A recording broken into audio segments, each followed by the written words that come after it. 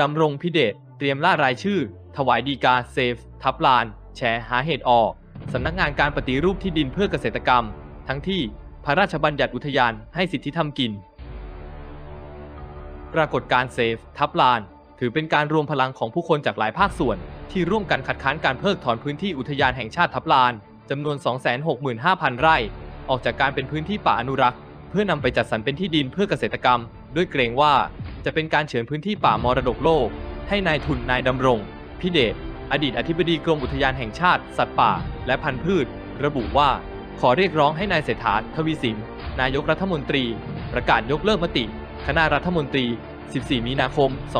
2566 ที่ให้มีการปรับปรุงแนวเขตอุทยานแห่งชาติทับลานตามแนวเขตใหม่ ซึ่งเท่ากับเป็นการเพิกถอน พื้นที่อุทยานแห่งชาติทับลานกว่า 200,000 ไร่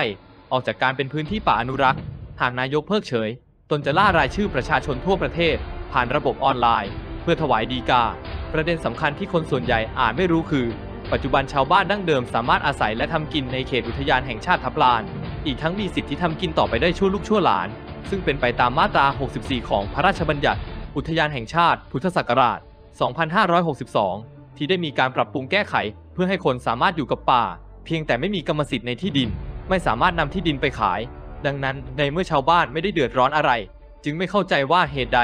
รัฐบาลจึงพยายามเปลี่ยนพื้นที่ป่าอนุรักษ์ให้เป็นสำนักงานการปฏิรูปที่ดินเพื่อเกษตรกรรม